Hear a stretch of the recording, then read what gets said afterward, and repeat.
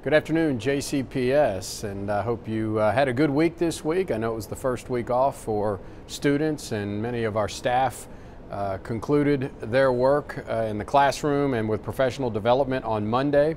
Um, but I am uh, taping here today uh, from our Deeper Learning Symposium, our second annual Deeper Learning Symposium, where over 2,000 educators have convened down here this week, Wednesday, Thursday, and Friday uh, to improve what they do as teachers and educators, um, uh, get professional development, and, and really find out ways better to engage students. So um, it's been inspirational to see how many teachers and educators um, have come after one day off for the summer, um, have come back for three consecutive days of professional development um, here at the Fair and Exposition Center. Uh, just great work. Uh, I'm in a, a, long line of great speakers who have come to speak to the teachers at JCPS. Uh, had the chance to meet Pedro Noguera uh, this weekend, or excuse me, this week, uh, one of the main speakers.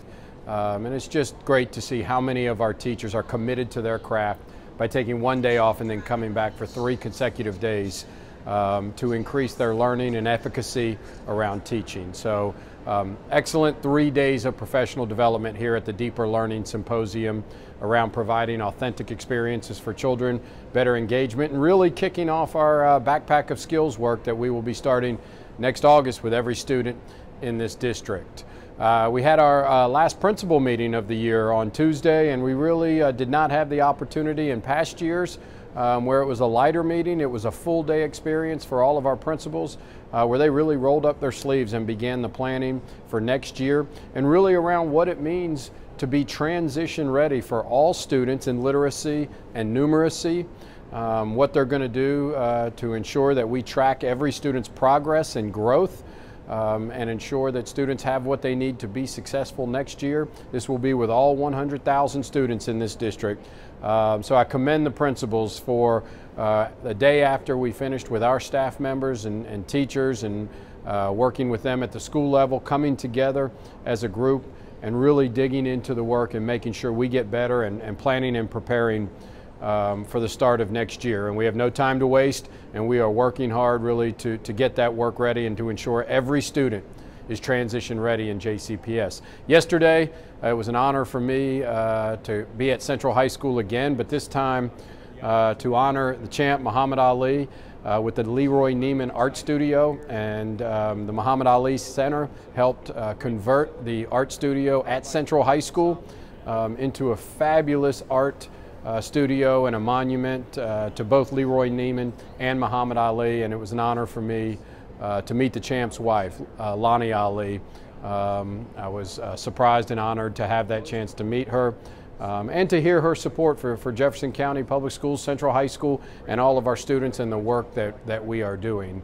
Uh, so another great program at Central High School as they continue to move forward um, and work hard. Last night, um, I celebrated it with our uh, Academies of Louisville business partners at our year-end celebration earlier this week.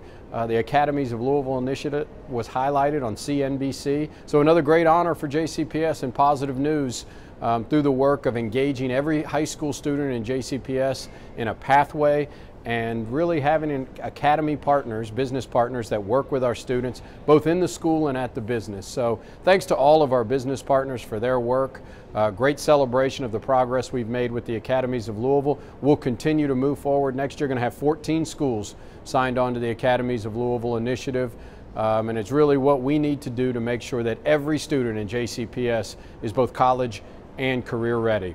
And finally, this week I celebrated the retirement um, of JCPS employees at the annual retirement dinner. I just want to take this opportunity uh, as we conclude the year to thank all of our retirees for the years of service they have provided to JCPS. They have meant the difference in thousands of students' lives uh, throughout this community and can't thank you enough for your service to Jefferson County Public Schools over the years.